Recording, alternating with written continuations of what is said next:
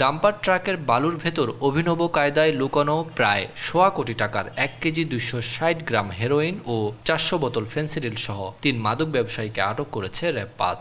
সোমবার রাত সাড়ে নটার দিকে নাটোর জেলার লালপুর থানার বনপাড়া রাস্তায় র্যাব পাঁচ রাজশাহীর একটি অপারেশন দল তাদের আটক করে। মঙ্গলবার দুপুরে র্যাব পাঁচ রাজশাহীর সদর দফতরে আয়োজিত সংবাদ সম্মেলনে অধিনায়ক লেফটেন্যান্ট কর্নেল রিয়াজ শাহরিয়ার জানান, আটককৃতরা দীর্ঘদিন ধরে দেশের বিভিন্ন প্রান্তে মাদক চোরাচালান করে আসছিল। র্যাব গোয়েন্দা তথ্যের ভিত্তিতে জানতে পারে, নাটোর জেলার লালপুর থেকে একটি বালু ভর্তি ডাম্পার ট্রাকে বালুর আড়ালে অবৈধ মাদক দ্রব্য সহ বনপাড়ার দিকে আসছে। বিষয়টি জানা মাত্রই র্যাব পাঁচের একটি অপারেশন দল। সোমবার রাতে ঘটনাস্থলে পৌঁছে বনপাড়াগামী পাকা রাস্তার ওপর চেকপোস্ট পরিচালনা করে। ওই সময় ঘটনাস্থলে একটি ট্রাক আসলে থামানোর জন্য সংকেত দেওয়া মাত্রই র্যাবের উপস্থিতি টের পেয়ে তিনজন ব্যক্তি ডাম্পার ট্রাকের দরজা খুলে কৌশলে পালানোর চেষ্টা করে। এ সময় ঘটনাস্থলেই বালুভর্তি ট্রাক সহ তিনজন ব্যক্তিকে আটক করা হয়। আসামিদের জিজ্ঞাসাবাদে র্যাব জানতে পারে যে তারা সিঙ্গেল কেবিন ডাম্পার ট্রাকের মালিক, ড্রাইভার ও হেল্পার। তারা সবাই সংঘবদ্ধ মাদক চক্রের সঙ্গে জড়িত।